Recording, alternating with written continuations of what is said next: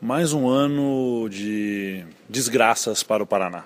Aumento de impostos, nós tivemos o tratoraço novamente implementado na Assembleia, com uma base que não quis, não se dispôs a discutir projetos, inúmeros projetos polêmicos em regime de urgência, de maneira antirregimental, sem prazo necessário para isso mostram um despreparo do governo, uma incompetência, mas um controle total sobre a sua base de 34 deputados. Ruim para a política, ruim para a democracia, ruim para o Paraná. E o senhor acredita que é possível mudar isso no próximo ano? Não sabendo que era impossível, ele foi lá e tentou. Vamos continuar tentando, mesmo sabendo da dificuldade que vamos enfrentar. Mas a Odebrecht está aí, com a sua lista. A Quadro Negro continua acontecendo, a Republicano. Quem sabe não damos a sorte de ver pessoas envolvidas em corrupção atrás da cadeia, facilitando a boa política no Paraná. Um dos pontos polêmicos aqui, inclusive uma decisão do governo, foi aquela questão de adiar a data base dos servidores. A oposição acabou entrando como ação. Já tem alguma coisa de concreto sobre isso? A ação está protocolada, já foi distribuída e aguardamos agora a decisão do desembargador.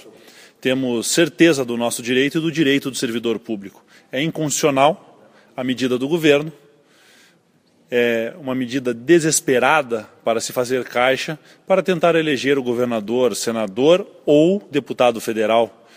Mas eu acredito que o melhor está por vir.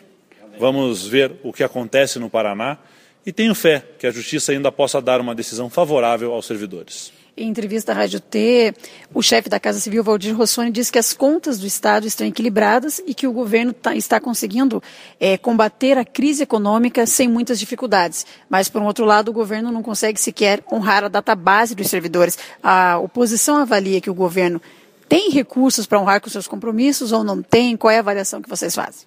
Essa afirmação do chefe da Casa Civil é esquizofrênica, pois não tem dinheiro para honrar com a lei sancionada por eles mesmos, mas vem dizer que está equilibrado o governo que cumpre com as suas obrigações. Ora, o Paraná sempre foi um governo que cumpriu com suas obrigações. O Paraná é um estado rico. O Paraná é um estado de gente trabalhadora. E pagar o salário é a obrigação do governador. Agora o governador deixa de pagar os reajustes e gasta fortunas com viagens de avião, helicóptero e propaganda na Rede Globo, comprando assim, me parece, o silêncio da grande mídia.